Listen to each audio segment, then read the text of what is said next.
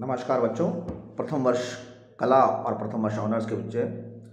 हम बात कर रहे थे बौद्ध धर्म की और बौद्ध धर्म के विभिन्न सिद्धांतों की बात कर रहे थे और उसमें मैंने आपको बताया था कि दस मुख्य सिद्धांत जो जो है, वो उसमें शामिल किए गए हैं। भारत में बौद्ध धर्म का प्रचार प्रसार हुआ, चार बौद्ध संगीतियाँ भी हुई, लेकिन भारत में ये बौद्ध धर्म इतना ज़्यादा फैल नहीं पाया। या प्रचार प्रसार नहीं हो पाया और सन 1000 हज़ार ईस्वी के बाद में तक पहुँचते पहुँचते पुनः सनातन धर्म अपने मज़बूत रूप से सामने आया। मुस्लिम आक्रमणकारियों का जो हम आक्रमण मानते हैं एक हज़ार ईस्वी से लेकर और फिर उसके बाद में 1206 के बाद में दिल्ली सल्तनत की स्थापना हो गई और सत्रह औरंगज़ेब के पतन और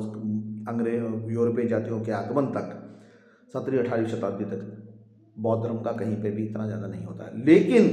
विदेशों में बौद्ध धर्म का प्रचार प्रसार होता है। बौद्ध धर्म का कहीं ना कहीं पर कुछ ना कुछ महत्व ज़रूर रहा है, उसके बारे में अध्ययन करेंगे। और भारत में बौद्ध बौद्ध धर्म अपना मूल रूप स्थापित नहीं कर पाया, उसके बारे में भी मैं आपको कुछ प्रश्न दूँगा। देखिए, बौद्ध धर्म का जहाँ तक प्रसार है, हम तीन राजाओं का नाम ले सकते हैं, अशोक, कनिष्क और हर्षवर्धन। तीनों के बीच में गैप है। अशोक तीन, दो सौ शताब्दी पर 232 में पूर्णता प्राप्त कर लेते हैं। कनिष्क अठहत्तर ईस्वी और हर्षवर्धन छः सौ ईस्वी। दो ईस्वी पूर्व के हैं और एक ईस्वी के बाद में यानी एक हज़ार साल के इतिहास में तीन बड़े राजा जिनका शासनकाल तीस तीस पैंतीस पैंतीस वर्ष ज़रूर रहा। उनके अलावा कहीं भी क्रमबद्ध एक वंश से दूसरे वंश में या एक राजा से दूसरे राजा में इस प्रकार का कहीं भी उल्लेख नहीं मिलता है कि बौद्ध धर्म को जो है समझिए अशोक के उत्तराधिकारी ज़रूर बौद्ध में रहे, लेकिन फिर हम देखते हैं कि ब्राह्मण पुष्यमित्र सिंह आए और उनको बृहदरथ को त्याग और सारा सीन हमारे सामने।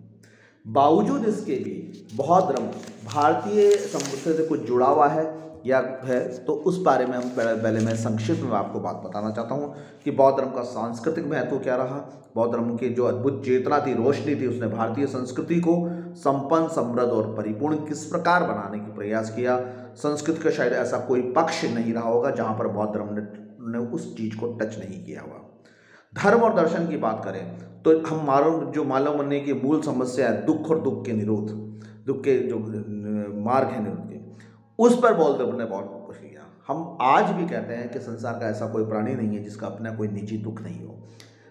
उस पर बौद्ध धर्म ने बात करी कि भाई आप मोहक को रूप ये एक भारतीय संस्कृति का बहुत विभिन्न रूप था और इसमें एक आत्मदीप बनकर आप चलिए, स्वयं के स्वयं मार्गदर्शक बनिए, ये बौद्ध धर्म का संदेश था, जो भारतीय धर्म और दर्शन के कहते हैं उसके कालांतर में, राधिकाल में देखा जाए तो कई ऋषि मुनि आए, उन्होंने फोकस किया और जो वेदों में था वो इस बात को भी किया बात वही थी, लेकिन उसको सरलता और सहजता से कहने के कारण बौद्ध धर्म इस बात को बहुत अच्छी तरीके से मूर्त रूप दे सके थे। सामाजिक जीवन की बात करें तो बौद्ध, जो द्वार, बौद्ध मत थे, उनके सबके लिए द्वार खुले हुए थे।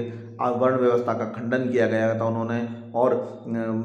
बुद्ध ने समानता और स्वतंत्रता के सिद्धांतों को प्रतिपादित किया और एक लोकतांत्रिक परंपराओं को संग, मठों में दिया गया।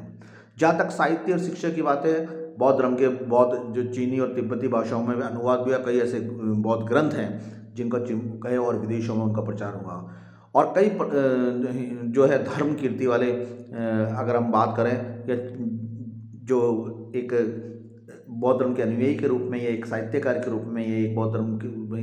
उसमें अशोकोष हुए, नागार्जुन हुए, वसुबंधु हुए बुद्ध घोष हुए बुद्ध पालित हुए भावा विवेक हुए, और दिन्नांग हुए और धर्म कीर्ति हुए। ये ऐसे प्रतिभाशाली बौद्ध आचार्यों ने बौद्ध साहित्य और शिक्षा के क्षेत्र में बहुत अधिक प्रचार प्रसार किया और उनका बहुत मठों तक विकसित में बहुत केंद्र है नालंदा, तक्षशिला विक्रमशिला आदि प्रतिष्ठित विश्वविद्यालय के रूप में बौद्ध धर्म के कारण हुए। कला के क्षेत्र में करूँ तो बौद्ध कला जो है मुंबई में देखने को मिलता है, अजंता एलोरा की गुफा में देखने को मिलता है, सांची के स्तूप में मिलता है, सारनाथ के स्तूप में मिलता है गुप्त काल की कई मूर्तियाँ उन पर पड़ता है। तो कला और विद्बौद्धिका भी कभी उसमें है। और एक बृहत्तर भारत को निर्माण दिया। जब कोच कोरिया, मंचूरिया, चीन, मंगोलिया, श्रीलंका, नेपाल, तिब्बत, थाईलैंड और इन सब जगहों पे बहुत कुछ गए तो जापान, सुमात्रा, कंबोडिया तो यहाँ पर एक बृहत्तर भारत का निर्माण की बात करें हैं तो संस्कृतिक क्षेत्र से, भौगोलिक क्षेत्र से नहीं हो सकता, राजतंत्र के राजा के रूप में नहीं हो सकता, लेकिन सांस्कृतिक क्षेत्र में एक बृहत्तर भारत का अगर निर्माण करें तो बहुत प्रथम का हुआ। अब बौद्ध धर्म के पतन के कारण क्या हुआ है? क्योंकि राजतंत्र, इतना राजाओं का संरक्षण नहीं मिला कुछ बौद्ध मठ थे जो भ्रष्टाचार के केंद्र बन गए थे। कुछ बौद्ध मठों में जो है वंशावलियों का होना लगा था कि एक बौद्ध भिक्षु है, उसका पुत्र भी बौद्ध भिक्षु मिलने लगा, कार्य रूप को थोड़ा सा प्रति किया। जैसे जैसे हुआ, लेकिन सबसे बड़ी बात जो ये रही कि गुप्त काल में जो इतना लंबा सारा था और भारत, प्राचीन भारत का स्वर्ण युग कहलाता वहाँ पर बौद्ध धर्म का प्रभाव कुछ भी नहीं था, उन किसी भी राजाओं पर उतना नहीं रहा। यद्यपि उनके पतन के बाद में वर्धन वंश आया और हाँ लेकिन वो एक सीमित क्षेत्र में रहा और वर्धन वंश के बौद्ध धर्म के जो नालंदा विश्वविद्यालय को जो थी देन थी, या हर्ष ने जो दिया था, उसको, उसकी पीढ़ी, अगली पीढ़ी नहीं चला पाई और कहीं पर कोई ना नेक्स्ट जो उत्तराधिकारी थे हर्जन, हर्ष हर्षवर्धन के, उसका नाम हमको कहीं भी दृष्टिगोचर नहीं होता है। तो बौद्ध धर्म के पतन के, या,